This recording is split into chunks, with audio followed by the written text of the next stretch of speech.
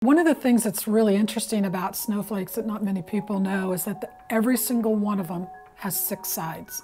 And that's the way that the bonds, when they, when they freeze, they actually force the water to have a fixed side. Liquid water can move all around, you know, you can pour it and stuff like that, but snow always has six sides.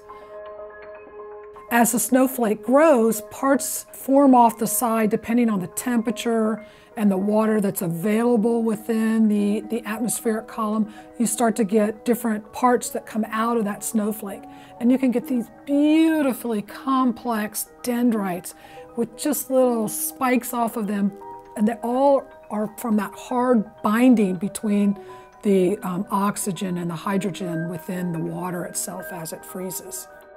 It's important to be able to improve these numerical weather predictions and their, and their forecast.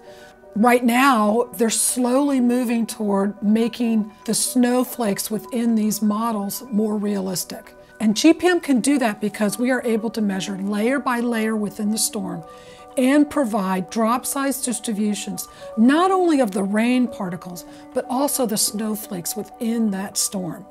And that allows us to put that information into numerical weather prediction to have a better estimate of these types of storms and where they're going to have the most impact on society.